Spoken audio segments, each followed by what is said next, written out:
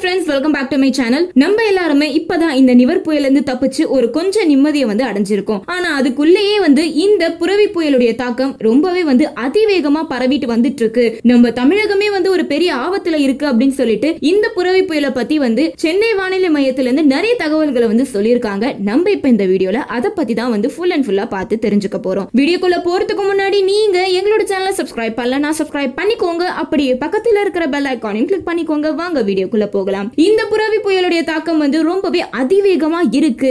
மணிக்கு பதிமூணு கிலோமீட்டர் ரொம்பவே வேகமாவே வந்து வந்துட்டு இருக்கு அப்படின்னு சொல்லிட்டு ஒரு பெரிய தகவலை வந்து சொல்லிட்டு இருக்காங்க இந்த புரவி புயல்னால வந்து நிவர் புயலுடைய தாக்கத்தை விட இந்த புரவி புயலோட தாக்கம் வந்து ரொம்பவே அதிகமாவே இருக்கும். அதனால வந்து முன்னெச்சரிக்கையா எந்த அளவுக்கு இருந்துக்க முடியுமோ அந்த அளவுக்கு இருந்துக்கோங்க அப்படின்னு சொல்லிட்டு அரசாங்கத்து மூலியமாவும் வந்து நிறைய தகவல்களை வந்து வெளியிட்டு இருக்காங்க இந்த ரெண்டாயிரத்தி இருபதை பொறுத்த வரைக்கும் நம்ம வந்து நிறைய கஷ்டங்களை வந்து அனுபவிச்சிட்டோங்க. சோ அதுல வந்து இப்ப பார்த்தோம்னா அதாவது இந்த ரெண்டாயிரத்தி இருபது கடைசி மாதத்துல அப்படின்னு சொல்லி பார்த்தோம்னா இந்த புயல் காத்து மழையிலேயே வந்து கணிச்சு முடிச்சிருவோம் போல இருக்கு. அந்த அளவுக்கு வந்து ஒரு பெரிய பேராபத்து இந்த ரெண்டாயிரத்தி இருபது இறுதி மாதத்துல இருக்குங்க. இப்பதான் இந்த நிவர் புயல் வந்து தப்பிச்சு வந்தோம். அதுக்குள்ள புரவி புயல்ன்றாங்க. அதுக்கடுத்து இன்னொரு வந்து ஒரு பெரிய பேராபத்தான புயல் வந்து இருக்கு ஆனா அதுக்கு இன்னுமே பேர் சூட்டப்படலை அப்படின்னு சொல்லிட்டு இருக்காங்க இந்த புரவி புயலுடைய தாக்கம் வந்து இன்னுமே வந்து கூடிய சீக்கிரத்துல கன்னியாகுமரிக்கும் இலங்கைக்கு நடுவில் இருக்கான் கூடிய சீக்கிரத்துல வந்து தமிழகத்துக்கு வந்து வந்துரும். அது தமிழகத்துக்கு வந்துருச்சுன்னா தமிழகம் முழுவதுமே வந்து ஒரு ஆழ்ந்த காத்தழுத்த தாழ்வோட ஒரு பெரிய கனமழையோட வந்து காணப்படும். சென்னையில வந்து கனமழை பெஞ்சு இந்த அளவுக்கு வந்து தண்ணி நிரம்புமா அப்படின்னு சொல்லிட்டு நம்ம எல்லாருமே வந்து ஒரு பெரிய ஷாக் ஆனோம். அதுல வந்து இந்த புரவி புயலோட தாக்கம் வந்து ரொம்பவே அதிகமா இருக்கு. அது ஒரு பக்கம் இருந்தாலும் இந்த புரவி புயலுக்கு அடுத்து இன்னொரு ஒரு புயல் இருக்கு அப்படின்னு சொல்லிட்டு நிறைய ஆபத்தான தகவல்களை வந்து முன்னெச்சரிக்கையா இருந்துக்கோங்க அப்படின்னு சொல்லிட்டு வானிலை மையத்துல இருந்து நிறைய விஷயங்களை வந்து சொல்லிட்டு இருக்காங்க. இந்த நிவர் புயல் தாக்கத்தை விட இந்த புறவை புயலுடைய தாக்கம் வந்து ரொம்பவே அதிகமா இருக்கும். அதனால டெல்டா மாவட்டங்கள்ல இருக்கிற எல்லா மாவட்டங்களுமே வந்து ஒரு பெரிய பேராபத்தை சந்திக்கிறது இருக்கு அப்படிங்கிற ஒரு விஷயத்தையும் சொல்லியிருக்காங்க. மீனவர்கள் யாருமே வந்து கடலுக்கு மீன் பிடிக்க செல்ல வேண்டாம். அந்த அளவுக்கு வந்து ஒரு பெரிய காற்றழுத்த தாழ்வு வந்து உருவாயிருக்கு வங்கக்கடல் தேசத்துல. இந்த மாதிரி த- தகவல்களை கொடுக்கறதுனால மீனவர்கள் வந்து இன்ன வரைக்குமே வந்து அவங்களுடைய தொழில்